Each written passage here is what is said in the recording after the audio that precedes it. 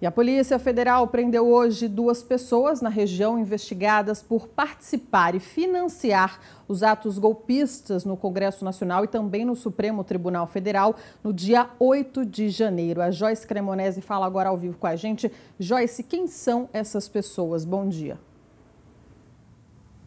Bom dia para você, Jéssica, e para todo mundo que nos acompanha. Olha, se trata da empresária de produções artísticas de Rio Preto, Kátia Gracelli, que foi presa hoje no bairro Jardim Maracanã. Ela é investigada por financiar os atos golpistas e terroristas no Congresso Nacional e no Supremo Tribunal Federal em 8 de janeiro deste ano, uma semana após a posse do presidente Lula. O mandado de prisão foi expedido pelo STF.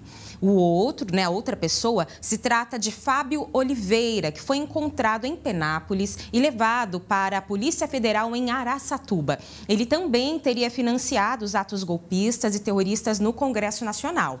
Policiais federais cumpriram 46 mandados de busca e apreensão e 32 mandados de prisão preventiva nos estados da Bahia, Espírito Santo, Goiás, Maranhão, Minas Gerais, Paraná, Rondônia, Rio Grande do Sul, São Paulo e no Distrito Federal.